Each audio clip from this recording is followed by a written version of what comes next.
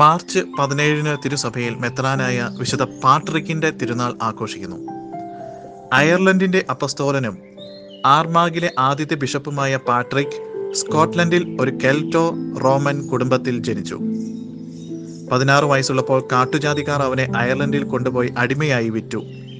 ആറുമാസം അങ്ങനെ അടിമയായി ആടുകളെ നോക്കി അർത്ഥപട്ടിണിയായി കഴിഞ്ഞു. തന്നിമിത്തം കൂടുതൽ ദൈവൈക്യത്തിൽ ചെലവഴിക്കാൻ അവന് സാധിച്ചു.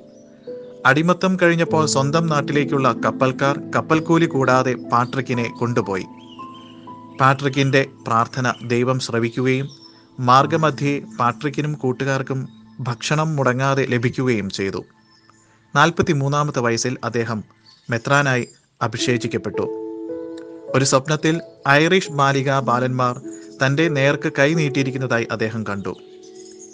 എരിയുന്ന തീക്ഷ്ണതയോടെ പാട്രിക് അയർലൻഡിന്റെ എല്ലാ മുക്കിലും മൂലയിലും എത്തി അനേകരെ മാനസാന്തരപ്പെടുത്തി. നാനൂറ്റി മുപ്പത്തി മൂന്നിൽ ഉയർപ്പ് ഞായറാഴ്ച ഷാംറോക്ക് മരത്തിന്റെ ത്രിതളപത്രം ഉപയോഗിച്ച് പരിശുദ്ധ ത്രിത്വത്തെപ്പറ്റി പ്രസംഗിക്കുകയും രാജസഹോദരൻ കൊണാൽ മാനസാന്തരപ്പെടുകയും ചെയ്തു. അതോടെ അയർലൻഡിന്റെ മാനസാന്തരം ത്വരിതപ്പെട്ടു. വിശുദ്ധ പാട്രിക് അയർലൻഡിന്റെ മധ്യസ്ഥനാണ്. അദ്ദേഹത്തിന്റെ തിരുനാൾ ദേശീയ ഉത്സവവുമാണ്. വിശുദ്ധ മത്തായുടെ സുശേഷം അധ്യായം ഏഴ് ഇരുപത്തൊന്ന് ഇരുപത്തിയെട്ട് വചനഭാഗത്ത്. സ്വർഗത്തിൽ പ്രവേശിക്കുന്നത് സ്വർഗസ്ഥനായ പിതാവിന്റെ ഇഷ്ടം നിറവേറ്റുന്നവരാണ് എന്ന് ഈശോ അരുൾ ചെയ്യുന്നു.